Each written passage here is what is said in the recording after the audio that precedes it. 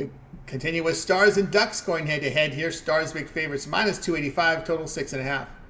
Yeah, Dallas won the last meeting four to three, but uh, you see a big favorite here at minus two eighty five right now, and Dallas certainly they should have offensive success here, whether it be Gibson or Dostal in goal for the Ducks. Oettinger, uh, you know, he should probably be better than uh, he has performed this year. Ducks maybe they uh, could get two in this one, but man, the Stars uh, even though they've kind of given it up a little bit defensively here. I don't know if the Ducks have quite enough to stay in. I'm going to end up laying the puck line here. You got an Anaheim team, uh, 27th in expected goals against on full strength situations. You have a top 10 power play unit going up against the bottom five penalty killing unit. Dallas third in shooting percentage. I'm sure Dallas can get uh, at least four, probably five here. I'm going to think Dallas is going to get a comfortable win. Tony, I'm going to lay the puck line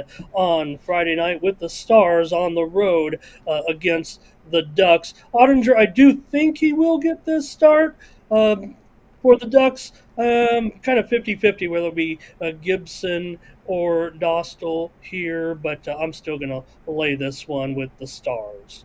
Well, Scott get his best bets over at tonyspicks.com. Stars and Ducks here. He likes the Stars puck line, and the puck and a half at minus 120. All right, let's continue here on our NHL rundown. Remember our promo code TonyT at checkout will save you that 20% out. Click the link in the description to get Ramon's premium plays.